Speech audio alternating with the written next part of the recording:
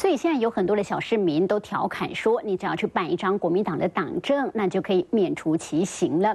好，我们来看去年十二月，马总统在集美人权园区演讲的时候，被独派人士王献吉给丢鞋子，虽然是没有丢中总统，但是王献吉在今年五月呢，已经被地检署以违反集会游行起诉了。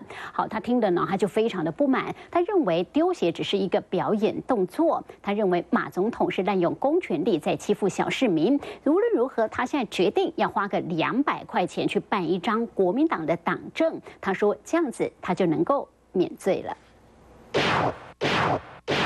天外飞来一只鞋，去年十二月底，马总统人权日演讲惨遭鞋包伺候，鞋的主人独派人士王献吉，五个月后却被以违反集会游行法遭起诉。我是一个表演的自由啊，我也无要向伊谈啊，啊嘛无谈到伊为什么要起诉我？是不是看我是小市民？七十三岁老人家气炸了，反驳丢鞋只是表演动作，拿着十天前征信传票，实在不服气，如今遭起诉。这会儿在挂上抗议布条，要尽情领议事介绍加入中国 A 前党，还立马从皮夹抽出两百块，要办张党证当护身符。我有两百块，马仔要来，后日后日要来申请。